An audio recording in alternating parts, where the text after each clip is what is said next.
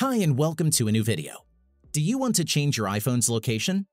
Normally, the iPhone uses its built-in GPS receiver to determine its location. But in this video, I will show you how to change your location so that your iPhone thinks that you're somewhere else. You can apply this on location-based apps or games like WhatsApp, Snapchat, or Pokemon Go. Let's go. Unfortunately, on normal iPhones that don't have a jailbreak, you can't just install an app to change your location. This is because the apps you have downloaded from App Store don't have that capacity. Aside from that, I don't recommend making a jailbreak if you're just testing it out. In worst case scenario, it may just cause harm to your device. Without a jailbreak, you will need to use a computer and install a program in order to change your location. There are several programs that you can use. I personally like iMyFone's AnyTo and Tenorshare's iAnyGo, which works both on Windows and Mac. If you want to know more about each program, you can check out the links in the description below.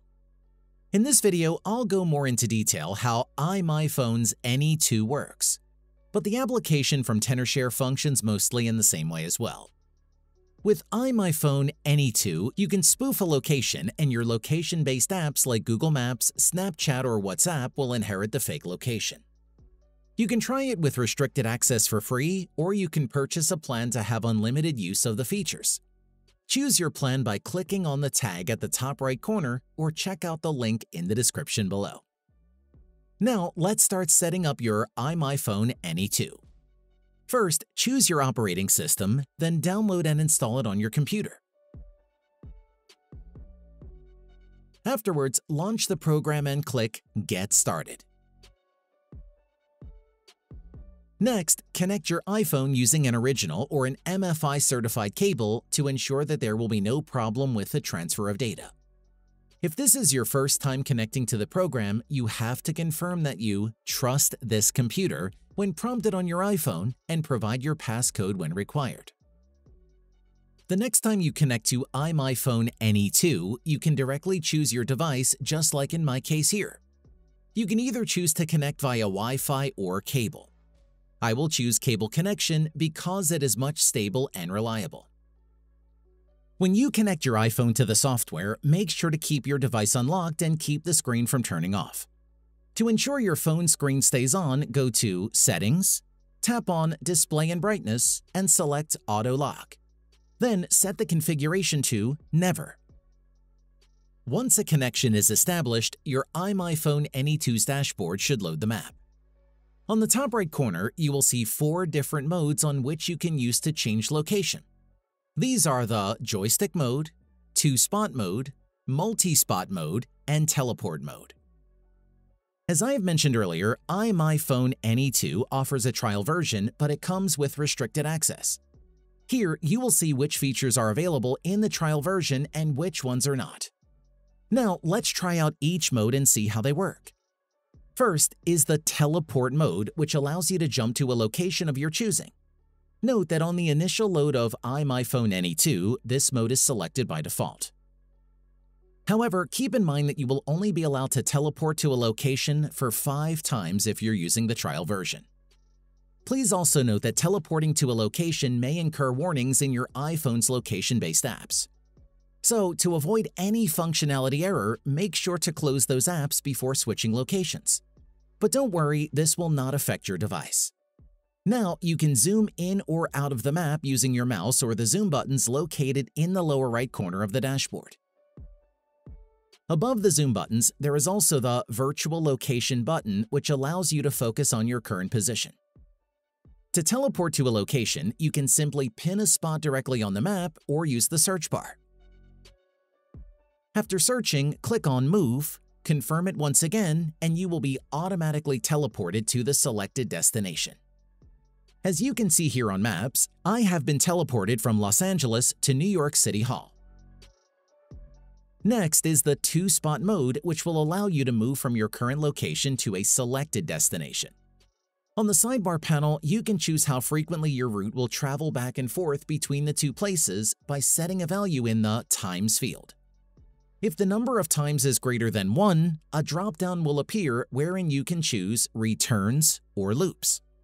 Selecting Returns will simulate the movement from start to finish, and then return to the starting location. On the other hand, Loops will set the movement to continuously travel back and forth between the two places until you choose to stop it. I just want the route to simulate once, so I will change the value back to 1. You can also drag the speed bar to customize your movement. In my case, I will set the speed under the car category. But your speed may go even faster by clicking on the plus icon underneath the slider. Below the speed bar, you can check Realistic Mode so that your movement will seem natural and not overly automated. If checked, your speed will vary for every 5 seconds. After setting up your route, click Move to start simulating the environment. As you can see on my iPhone, my current location is now moving along the map according to the planned route I've set on iMyFone AnyTo. You can still modify your speed even if you have already started your route. To do this, pause the movement for a while in the sidebar panel. Drag the speed bar again or click the plus button for a faster pace. Then click Continue to resume the movement. Another option is the multi-spot mode, which allows you to plan a route with multiple locations. Pin multiple spots with simple clicks directly on the map or by using the search bar. You can also drag a specific pinned location to modify its position. Every time you pin a location, it will be added to the sidebar panel. You can remove a destination anytime by clicking on the Close button beside each location name. Other than that, you will see basically the same functions in the sidebar panel, like when on 2-spot mode earlier.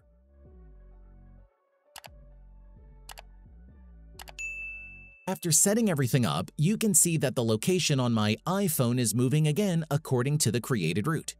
You can stop the route whenever you like. Last is joystick mode. On the joystick mode panel, you can choose your pace using the speed bar to control your movement. To move forward or reverse, you can click the joystick directly or you can also use the arrow keys on your keyboard. As I control the joystick, my location is moving along on the maps as well. As additional information, iMyFone supports changing GPS locations of five different iOS devices at the same time. On the lower right corner of the map, click on the phone icon to view the connected devices. Click on Add to connect another one. If you want to revert back to your original location, click on the Reset Location button. On iMyFone, you will be automatically reverted back to your original location. However, this might not be the case for the applications on your iPhone. In order to revert your location changes, you will have to restart your device. And that's it. If I could help you, feel free to give this video a thumbs up and don't forget to subscribe. Leave a comment down below if you have any questions. See you next time. Bye.